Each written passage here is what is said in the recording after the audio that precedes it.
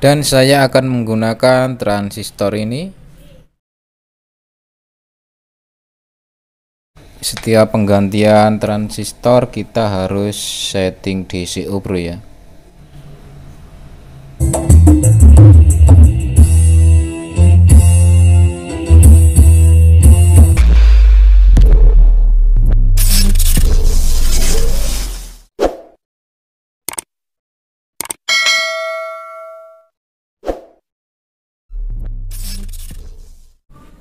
Assalamualaikum warahmatullahi wabarakatuh. Jumpa lagi bersama Electronic Channel.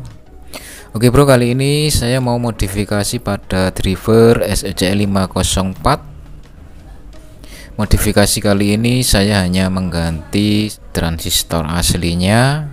Akan saya ganti dengan tipe lain Atau nomor lain bro ya Simak terus videonya, jangan lupa like dan subscribe-nya dan bunyikan tombol loncengnya agar Anda semua selalu dapat notifikasi dari Electronic Channel.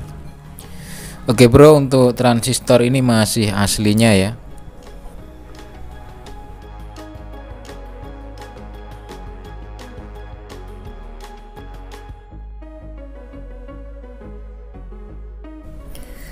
Untuk transistor input masih menggunakan aslinya masih menggunakan 5401 bro ya. Dan saya akan menggunakan transistor ini A992 ya. Untuk transistor harganya Rp3.000 satu biji bro ya jadi untuk transistor saya membeli lebih dari tiga biji bro ya. Saya membeli 20 biji dan saya pilih satu persatu mana yang lebih baik mana yang terbaik. Dan ini grid B bro ya. Untuk grid A nya sudah saya pakai di driver lain. Dan ini untuk grid C ini pilihan yang nomor tiga.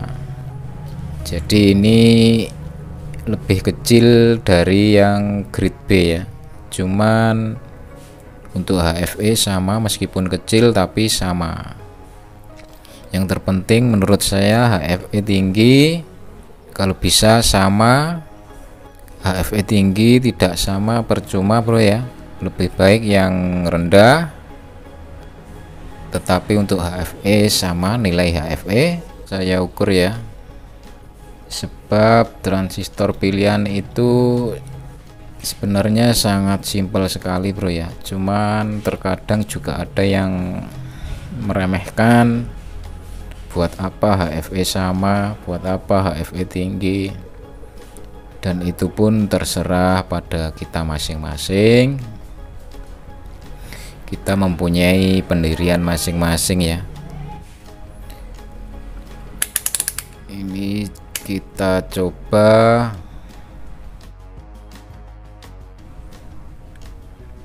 Untuk nilai HFE nya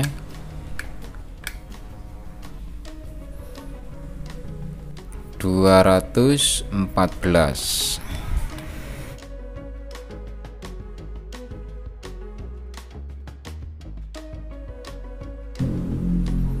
hampir sama cuman selisih satu digit.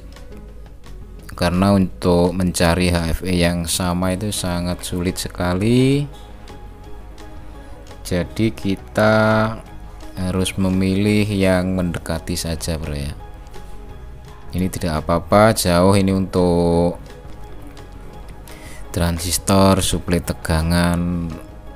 Transistor input keduanya ini bro ya yang terpenting yang dua biji ini untuk nilai HFE nya tidak harus sama bro ya. Mendekati tidak apa-apa.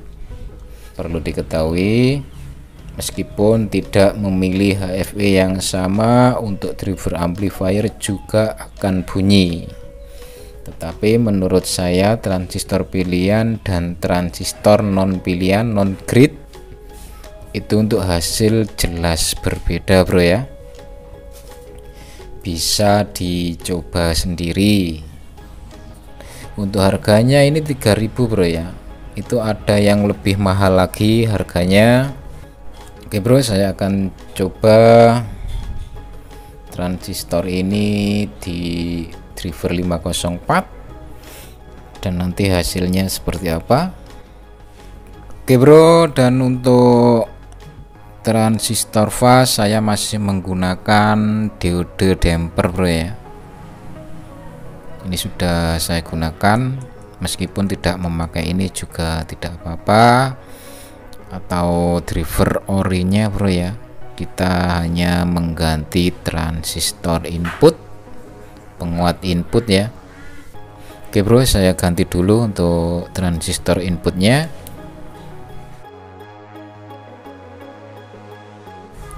dan ini pin kedua transistor bro ya. Pinnya berbeda.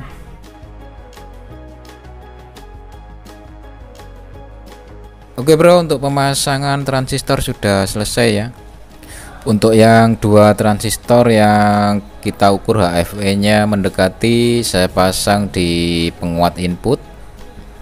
Dan yang satunya saya pasang di suplai tegangan kedua transistor ini ya yang terhubung ke dua dioda. Ini hanya sebagai suplai saja. Jadi yang terpenting untuk kedua transistor input ini ya. Pemasangannya seperti ini bro ya.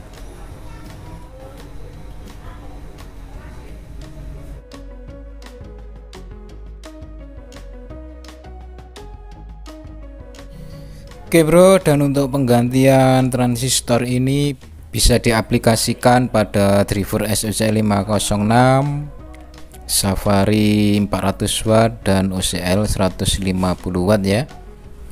Pokoknya untuk OCL semuanya bisa bro ya menggunakan transistor ini. Oke bro selanjutnya kita cek DCO setiap penggantian transistor kita harus setting DCO bro ya biasanya berubah setiap penggantian transistor input transistor fast maupun transistor driver.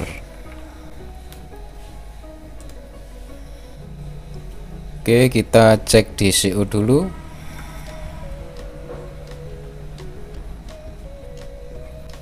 DCO sudah berubah bro ya. Cuman tidak begitu rendah atau tinggi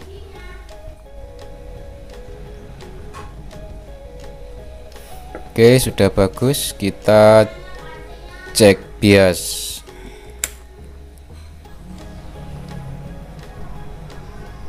Empat empat.